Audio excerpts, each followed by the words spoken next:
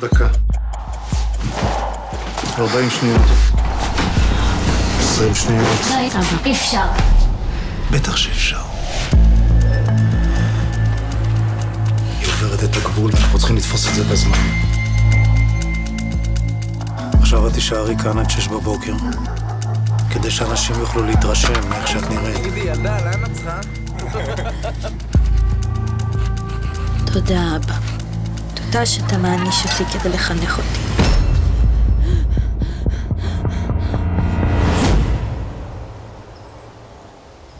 אחת. שתיים. שלוש. מה את עושה עם זה? קרה לך פעם שהרגשת שמשהו כל כך כואב לך בפנים, שאם אתה עושה משהו זה מתפוצץ לך בתוך החזה. כואב לי בכל הגוף. אני מבין שמשהו קשה עובר עלייך. אני נשאר פה לקפוא ביחד איתך.